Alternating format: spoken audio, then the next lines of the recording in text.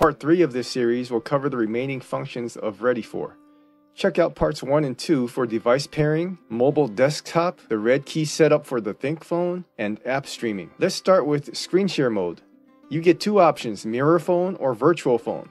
You can initiate this mode from the desktops or the phone's Ready For app. Or if you've set up the red key for mirror phone, double click it to initiate on your phone and it will activate it on your desktop. But keep in mind that the red key setting won't do virtual phone, only mirror phone. What sets this apart from the app streaming is that this is a single window for all activities just like on your phone. This means there is a single window with home, back, and recents functionality. However, if you have the Android gestures navigation active, like swiping from the bottom up to go home, it's a bit cumbersome to navigate using only a mouse as you have to swipe up with a mouse precisely at the bottom of the window.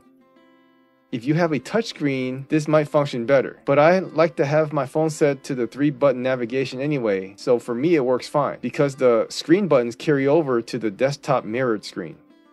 I'm surprised they didn't just give it a toolbar with home, back, and recents, similar to what they do for app streaming or on the virtual screen that you'll see later. Again, Mirror Phone is just that, a direct mirror of your phone. If you pick up your phone and use it, the desktop window will mirror what's on the screen, and what you do on the desktop is visible on your phone. One cool thing you can try is to start the camera app and you'll have a viewfinder on your desktop window. You can use this like a Wi-Fi camera around the house.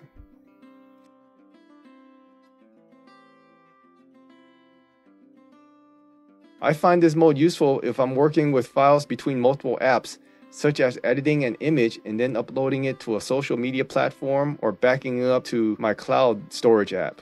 This mode has the most freedom of use and fewest compatibility issues since it simply displays what's on the phone. This mode is also ideal for presentations from your phone if you have your laptop projecting onto the big screen. For the virtual phone, it opens up a window and it's like a secondary screen for your phone.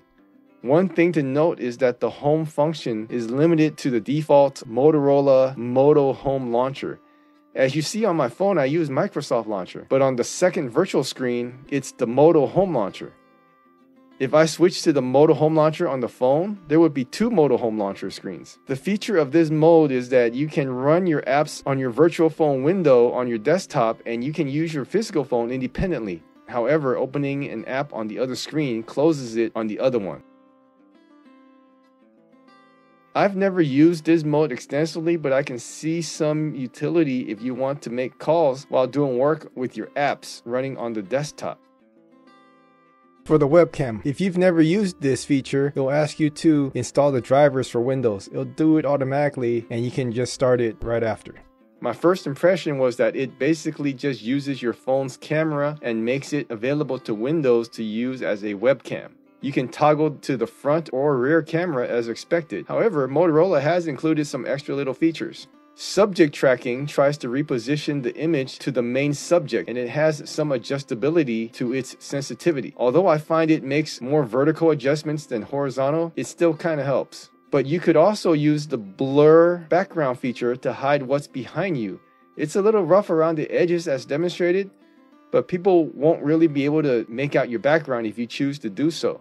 Video Mask lets you create a freeze frame or a three second video that loops back and forth. And it will loop that video to whoever it's broadcasting to. So if you're trying to look like as you're still there while you run to the restroom, this feature can help you. Be creative with this one. Camera zoom obviously controls the amount of zoom, while studio light turns on the rear flashlight LED if you were on the rear camera. It's grayed out for the front camera access. File transfers. This thing does one thing only. It opens up the Windows File Explorer and connects it to your phone's internal storage. It's simple and actually handy when needed. Full drag and drop plus file management access wirelessly or wired. For other file transfers, you can simply drag any file on the desktop to your phone picture in the Ready For app on your desktop and it will be sent to your phone's download folder. On the phone side, when you hit the share function now, it has a link to Ready For if connected. It will send the file over to the preset folder you set up on the Ready For app on the desktop side. If you have multiple Ready For devices set up, like a laptop and a desktop or multiple laptops, you can choose where to send it to at this point. I find this to be pretty handy to send and receive files back and forth. The Smart Clipboard. This enables copying and pasting of text and images between ready for link devices, whether it's a desktop or a phone. Keep in mind that you will need to make sure it's enabled on both sides as switching one on doesn't automatically enable the feature on every device. This is good for limiting who gets to share what if you have multiple linked computers or phones. I find this useful for sharing between devices without any copy and pasting to an email or instant message. You can also select from past copy and paste content as the Ready for app has a collection of what's been copied. As you see here, I've copied some text excerpts from the phone and it syncs to the laptop. From the laptop browser, I copy the URL and it syncs to the phone's clipboard. Now a screenshot from the laptop is synced. It's all stored in the Smart Clipboard section of the Ready For app for later use. For the hotspot feature. This function automatically starts up a hotspot between your phone and the desktop or laptop. I find this to be useful if only one device has internet and you need to share your internet, but this only works in wired mode. In this setup, the laptop has no internet connection. I connect my Ready For phone with the USB cable and choose Ready For as the connection type. Give it a few seconds to pair up the devices. Once synced, all Ready For functions are now available between the two devices. Hit hotspot on the phone side and it will share the internet signal. This is great for traveling, and while it's possible to start a wireless hotspot within stock Android itself, this is a one step process that makes everything easier.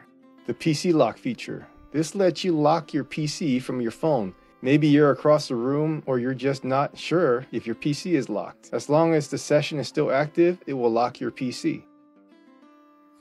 There's another mentioned mode where it can connect to your tablet that's running the Ready for Assistant app. It's supposed to let you run a virtual phone window on your tablet. Also gives it an internet signal by setting up a hotspot and lets you transfer files between them. Smart Clipboard is also supported. I have two tablets here, but only one of which was able to download and install the Assistant app. The one that did run it, the mirror window was very small, so it was not very usable. Motorola might not have developed this fully, but it's something to try out and see if it works for you. Hotspot works wirelessly this time because the tablet generates a QR code and you simply scan the code with your Ready For phone. It will connect to the phone's hotspot automatically. The file transfer works just like it does described in the earlier segment, and Smart Clipboard is also available. You can see the copy and pasted items here too. Finally, if you don't have a desktop computer, you could directly connect your Ready For phone to an HDMI monitor. This can be done with a basic USB-C to HDMI, or if your monitor supports USB-C video, USB-C to USB-C. I was able to use this typical USB-C hub with an HDMI output and USB-A ports with my standard USB wireless keyboard and mouse. The advantage to this is that this is a direct connection, so there is no wireless lag, and the feel is especially snappy. You get several options including a Microsoft 360 remote connection, the mobile desktop, which has all the features that I've gone over in part one, a TV feature where you get a full screen version of specific apps like YouTube or your video player, like I have MX Player. Video chat lets you open up your messaging app that has a video chat option. You can use this in combination with the Ready For webcam. Game mode is similar to TV mode except you launch your favorite game in full screen. You get to select which games appear in this mode. And finally, mirror mode, which is just a mirror of your phone. Again, the direct connection eliminates any lag that's present in the wireless or wired mode, which runs inside another desktop computer.